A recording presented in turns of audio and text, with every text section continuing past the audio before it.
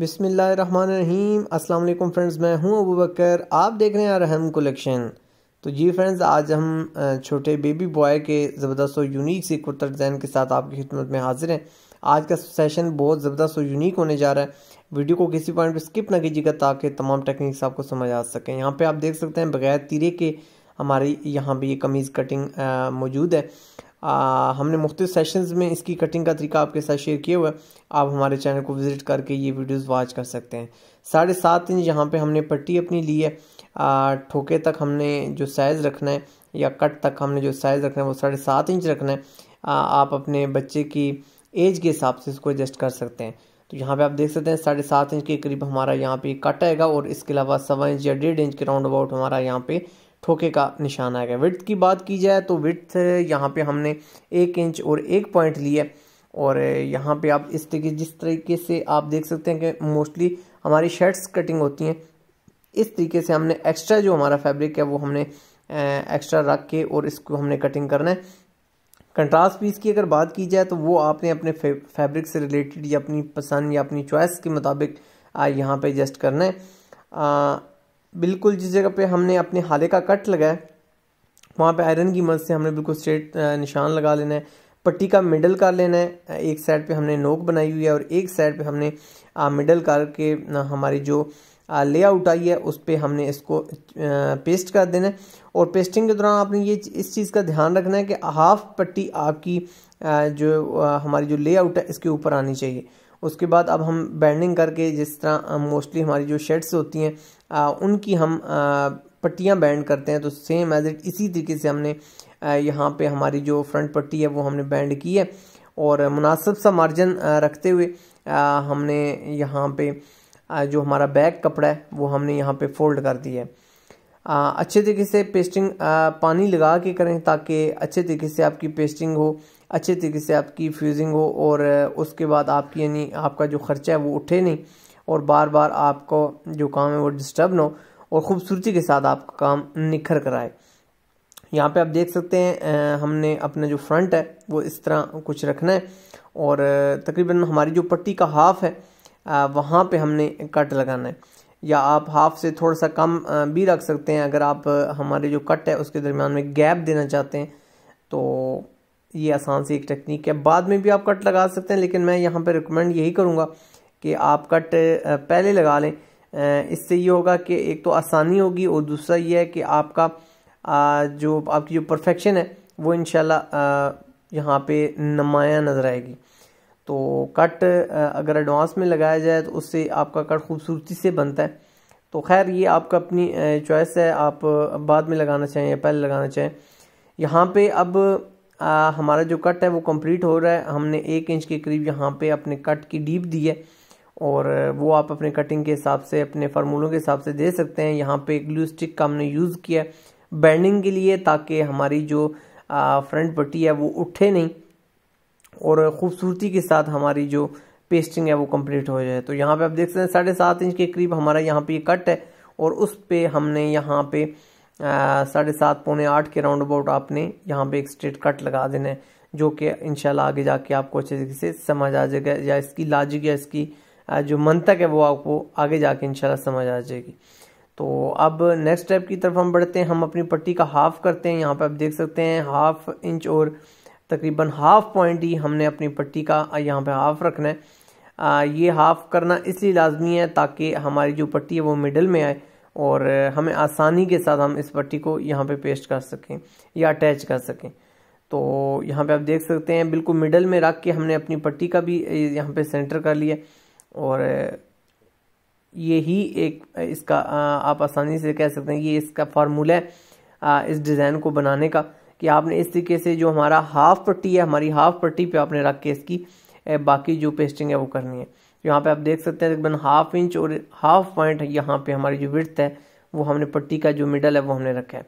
अब यहाँ पे हमारी जो शेप है जो हमारे फ्रंट की कटिंग है, उसको हमने यहाँ पे सेम एज इट यहाँ पे नीट कर लेना है। एक्स्ट्रा फैब्रिक इसलिए रखा गया ताकि आसानी के साथ हमें मतलूबा जो हमारा साइज़ है वो मिल सके। और इसकी जो लेंथ है वो आप अपने बेबी के हिसाब से रख सकते हैं, जितनी आप लेंथ ज़्यादा ले रहे हैं। लेकिन कोशिश आपने ये करनी है कि आपके जो चाक हैं, इससे ऊपर ऊपर ये आपका जो जैकेट का डिज़ाइन है, ये बनना चाहिए।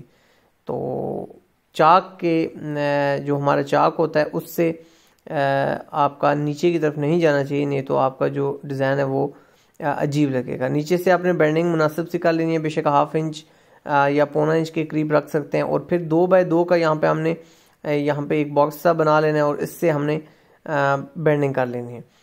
तो ये जो बैंडिंग है, ये आप अपने साइज़ के हिसाब से भी कर सकते हैं। लेकिन मोस्टली अगर दो बाय दो की आप यहाँ पे बेंडिंग करेंगे तो भी आपका जो डिज़ाइन है, वो उभर कर आपके सामने आ जाएगा, या खूबसूरती उसकी जो है, वो आपके सामने आ जाएगी। तो इस तरीके से अब हम यहाँ पे अपने, जो हमारा, हमारी जैकेट है, इसको हम यहाँ पे नीट करें। मोस्टली आप इसको देख सकते हैं। यहाँ पे हमारी जो बटन टेक है, वो हमने हाफ़ इंच और एक पॉइंट यहाँ पे आप देख सकते हैं, हमने लिए या पौने इंच भी आप इसको ले सकते हैं। हमारा जो कट है, वो हमने इस तरीके से बराबर का लेना है। मोस्टली ये डिज़ाइन अफ्रीकन सूट्स पे आपको देखने को मिलता है। तो अब यहाँ पे हमारा जो कट है वो हम तकरीबन साढ़े सात पौना पौने आठ इंच के करीब हमने यहाँ पे अपना जो पट्टी का कट है वो हमने कंप्लीट कर लिया और अब हमारी जो बटन टेक है इसको हम लगा रहे हैं। और यहाँ पे जो एक्स्ट्रा फैब्रिक है थोड़ा सा माइनर सा हम इसमें से एक आध पॉइंट हम यहाँ पे इसको आ, स्किप करेंगे या ट्रिम करेंगे जिससे हमारी जो आ, हमारा कट है वो आसानी के साथ एडजस्ट हो जाएगा हमारी बटन टेक के साथ।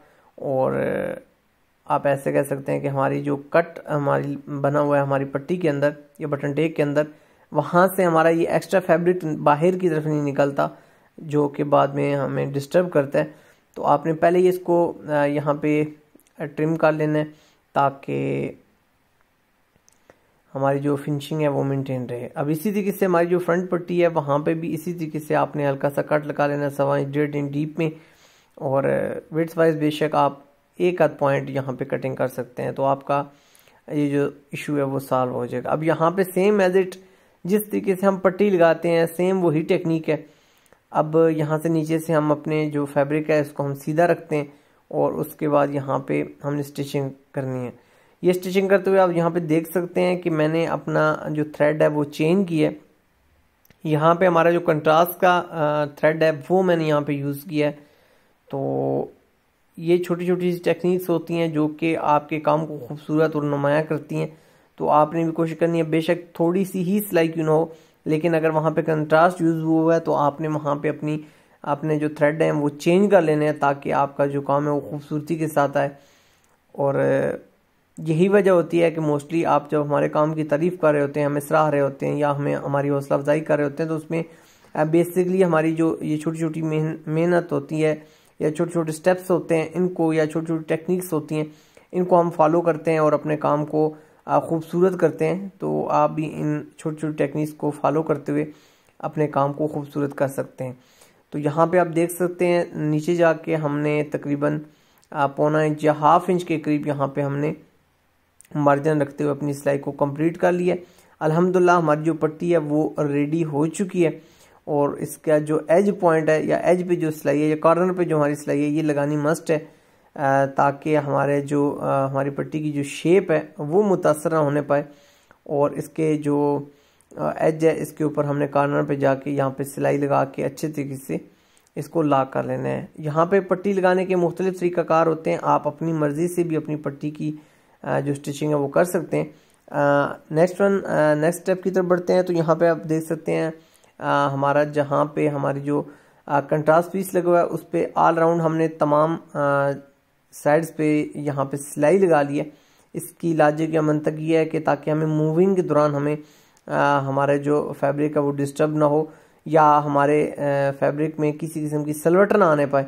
इसलिए ये यहाँ पे स्टिचिंग कॉर्नर पे कर दी कर दी जाती है ताकि हमारा जो फैब्रिक है वो लाक रहे। यहाँ पे तकरीबन आप पौना इंच के करीब आप यहाँ पे ये एक तिकोनी शेप देख सकते हैं कफ़ों की और ये आप देख सकते हैं आ, हमने अपोजिट साइड पे दिया और नेक्स्ट हमारा ये जो कंट्रास्ट पीस है इसी की मदद से हम यहाँ पे आ, हमारा जो यहाँ पे हमने एक तिकोनी शेप बनाई है ये हम यहाँ पे कंट्रास्ट के साथ कवर करेंगे। आप यहाँ पे देख सकते हैं कि हमने कंट्रास्ट पीस की बैक साइड पे टू इन वन टेप का यूज़ किया हुआ है। अगर आपके पास ये फैसिलिटी अवेलेबल है तो इसको ज़रूर अवेल करें। और अगर नहीं है तो आप इसको स्किप भी कर सकते हैं, कोई ऐसा इशू नहीं है। लेकिन टू इन वन टेप का यूज़ आपकी डिज़ाइनिंग को अब मज़ीद चार चाँद लगाता है, मज़ीद खूबसूरत करता है, या उसके अंदर मज़ीद जो एफिशिएंसी है, वो आती है। तो कोशिश किया करें, जो नई टेक्नोलॉजी है नई चीज़ें वो या अपने टूल्स हैं, वो आप प्रॉपर यूज़ करें, अपने गजेट्स यूज़ करें। उससे ये होगा कि आपकी जो डिज़ाइनिंग है वो मज़ीद खूबसूरती के साथ बनेगी और एक हौसले के साथ या एक हौसला अफजाई के साथ आपकी जो डिज़ाइनिंग है वो आगे की तरफ़ बढ़ेगी या कंप्लीट होगी। आप अपने काम को इंजॉय हो के करेंगे तो इंजॉय करके करेंगे तो इन आपका आ, काम के अंदर दिल भी लगेगा और आपका जो काम है वो सफ़ाई के साथ भी आएगा। तो यहाँ पे नेक्स्ट जो हमारा स्टेप है आ, हम अपनी चाक पट्टी है इसके कॉर्नर पे भी हम सेम एज इट सेम ही टच दे रहे हैं हमारी डिज़ाइनिंग का। तो ये एक्स्ट्रा हैं, आप अगर इनको स्टेप्स को अवेल करना चाहते हैं तो आप कर सकते हैं, नहीं तो आप इनको स्किप भी कर सकते हैं। लेकिन रिकमेंड मैं यही करूँगा कि आप जब डिज़ाइन कंप्लीट देख रहे होते हैं तो उसमें जितनी भी जगह पे वहाँ डिज़ाइनिंग इन्वॉल्व होती है तो उसको लाजमी फॉलो कर लिया करें। यहाँ पे अब बैन पे हमने कैसे मैचिंग करनी है अपने कंट्रास्ट की, बहुत आसान सी टेक्निक है। यहाँ पे सबसे पहले हमने हमारा जो हाला है वो हमने यहाँ पे फुल छांटी का लेना है। एक साइड हमारी बैंडिंग है अभी हमने अपने बैन को कंप्लीट नहीं किया। लेकिन यहाँ पे आप देख सकते हैं कि आ, हम अपने बैन का जो हाला है वो छांटी होने के बाद अब यहाँ पे अपने हाले की जो मैचिंग है वो यहाँ पे कर रहे हैं। तो यहाँ पे आप देख सकते हैं इस जगह पे हमारी मैचिंग आई है तकरीबन हमारे तीरे की जो सिलाई है वो आई है तो उस जगह पे हमने स्ट्रेट निशान पेंसिल की मदद से लगा लिया और नेक्स्ट वन आप सेंटर के साथ सेंटर मैच कर सकते हैं और उसके बाद इस तरीके से कॉर्नर मैच होने के बाद आपको जज हो जाएगा कि आपने जो लेआउट की है वो प्रॉपर की है या नहीं की। तो ये एक आसान सी टेक्निक है हमारी जो आ, हमारे जो बैन के अंदर आ, हमारे तीरे तक की जो आ, सेटिंग है हमारे कंट्रास्ट पीस की तो वो हमने सेम एज इट रखनी थी ताकि हमारे जो डिज़ाइन है वो मज़ीद इससे अट्रैक्टिव हो जाए। तो सेम एज इट इसी तरीके से हमने जैसे कफ़ों पे हमने कंट्रास्ट पीस का यूज़ किया इसी तरीके से आ, हमने बैन के अंदर भी करना है। यहाँ पे एक छोटी सी और चीज़ है एक्स्ट्रा जो फैब्रिक है इसको स्किप करें। आ, और इसके अलावा जो हमारा मेन फैब्रिक है इसको यहाँ से हम ट्रिम कर रहे हैं। इसकी वजह यह है कि जब हम यहाँ पे इसकी बैंडिंग करेंगे तो टू इन वन टेप हमारे बैन के साथ प्रॉपर अटैच हो जाएगी। और उससे हमारा ये जो कंट्रास्ट पीस है वो हिलेगा भी नहीं और एक प्रॉपर हमारी जो लुक है, वो बन जाएगी। प्लस इसका एक और एडवांटेज होता है कि हमारा बैन भारी नहीं होगा नहीं हो पाएगा। तो ये भी बहुत एक अच्छा सा इसका फ़ायदा है। नेक्स्ट अब हम अपने बैन को अटैच कर लेंगे। बिल्कुल नर्म हाथ रख के आपने अपने बैन को अटैच करना है। और यहाँ पे आप देख सकते हैं जिस जगह पे, क्योंकि हमारा डोल कलर में हमारा बैन यहाँ पे बन रहा है तो आपने कोशिश करनी है कि जिस जगह पे हम स्टिचिंग कर रहे हैं तो हमारा ओरिजिनल फैब्रिक ही यूज़ हो। अगर कंट्रास्ट वाली जगह पर स्टिचिंग कर रहे हैं तो कंट्रास्ट पीस या कंट्रास्ट कलर में ही आपने स्टिचिंग करनी है। और यहाँ पे बिल्कुल नरम हाथ पे रख के आपने अपनी स्टिचिंग को कंप्लीट करना है। और जोड़ पे सिलाई लगाते हुए आपने बिल्कुल रूट में जाके सिलाई लगानी है, ताकि आपका, आपकी जो सिलाई है वो नज़र ना आए। और जहाँ पे आप अपनी सिलाई ख़त्म करें या शुरू करें, वहाँ पे दूसरी साइड से थ्रेड को निकालते हुए अच्छे तरीके से उसको ला कर लें, गिरा कर लें। ताकि आपकी जो डिज़ाइन की खूबसूरती है वो मेंटेन रहे। तो यहाँ पे आप देख सकते हैं, थोड़ा सा नीचे की तरफ़ ला के हमने यहाँ पे इसको एंड कर दिया और दूसरी साइड से अपने थ्रेड को निकालते हुए यहाँ पे हमने इसको लाक भी कर लिया ताकि हमारा जो थ्रेड है वो मेंटेन रहे, बुरा ना लगे। तो यहाँ पे अलहमदिल्ला हमारा जो डिज़ाइन है वो कंप्लीट हो चुका है, वो आपके सामने इसकी जो लुक है वो आ चुकी है और यहाँ पे जो तीरे के साथ मैचिंग है वो आप यहाँ पे देख सकते हैं। बहुत आसान सी टेक्निक्स थी होप सो आज की वीडियो में भी आपको बहुत कुछ सीखने को मिला होगा। अगर आप चैनल पर न्यू हैं तो चैनल को सब्सक्राइब ज़रूर कीजिएगा। वीडियो के बारे में आपने कमेंट सेक्शन में हमारी हौसला अफजाई ज़रूर करनी है या अगर आपके कोई भी फर्दर आपके कोई क्वेश्चन आंसर हैं वो भी आप पूछ सकते हैं। आ, अब आप मुनासिब गैस पे यहाँ पे हम बटन अप्लाई कर दिए। बटन थोड़े से आपने हैवी साइज़ में लगाने थोड़े से मीडियम साइज़ में लगाने ताकि आपका जो डिज़ाइन है वो प्रॉपर लुक में यहाँ पे इसकी जो लुक है वो नज़र आए। और अल्हम्दुलिल्लाह अब हमारा डिज़ाइन रेडी होने के बाद इसकी एक शानदार सी लुक आपके सामने आ चुकी है। आपसे इन मुलाकात होगी नेक्स्ट की ज़बरदस्त और यूनिक से सेशन में। तो जब तक के लिए अपने दोस्तों बकर को दीजिए इजाज़त, सोहने रब हवाले।